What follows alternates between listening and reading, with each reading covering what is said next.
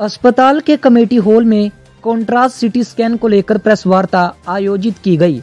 वार्ता की अध्यक्षता अस्पताल के वरिष्ठ चिकित्सा अधीक्षक डॉक्टर जनक राज ने की। उन्होंने बताया कि प्रदेश सरकार मरीजों को बेहतरीन स्वास्थ्य सुविधाएँ उपलब्ध करवाने के लिए प्रतिबद्ध है।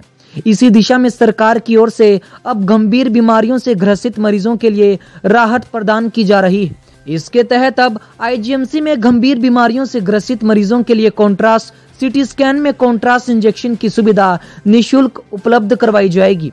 शरीर के किसी अंग में गंभीर बीमारी जांचने के लिए आमतौर पर कंट्रास्ट सिटी स्कैन की प्रक्रिया अपनाई जाती है।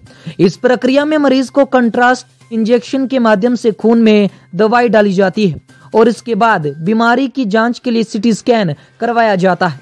हालाँकि अस्पताल में आयुष्मान भारत और हिमकेयर योजना के तहत आने वाले लाभार्थियों को ये सुविधा पहले से निशुल्क में उपलब्ध करवाई जा रही है। लेकिन प्रदेश सरकार ने कार्ड धारकों के अलावा अन्य मरीजों को लाभ पहुँचाने के लिए ये विशेष कदम उठाया है।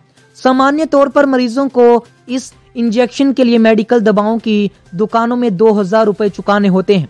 ऐसे मरीजों पर अतिरिक्त आर्थिक बोझ पड़ जाता है।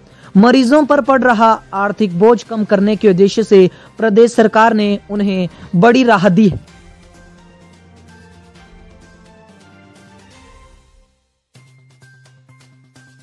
कंट्रास्ट सीटी तो लगभग हर, हर मरीज़ के लिए हमको करना पड़ता है। ये इंजेक्शन लगाते हैं नस में। और उससे जो आपकी आ, मतलब इन अ वे कलर्ड सीटी होता है जैसे उसमें एक तो वो हम हम जो मैंने पहले भी बोला 80 प्रतिशत पेशेंट्स के लिए हमको ये कंट्रासिटी करना पड़ता है उससे बीमारी की बेटर जाँच पता चलती है।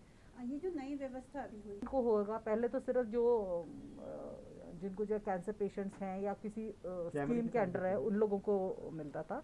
पर अब ये हंड्रेड परसेंट सारे पेशेंट्स को मिलेगा ये। Professor and head doctor Anupam Jogta radiology विभाग की हैं।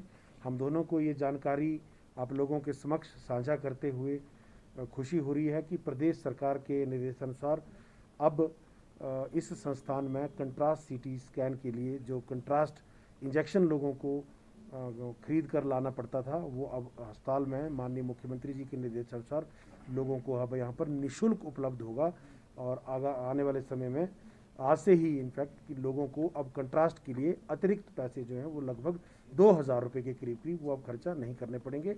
और ये प्रदेश के अंदर इस संस्थान के अंदर आने वाले सब श्रेणी के मरीजों के लिए ये एक सी योजना है। आ, उनकी आय के स्तर से ये योजना का कोई लेना देना नहीं है। इरिस्पेक्टिव ऑफ़ इकोनॉमिक स्टेटस इस अस्पताल में आने वाले प्रत्येक व्यक्ति के लिए ये कंट्रास्ट निशुल्क यहाँ पर उपलब्ध होगा।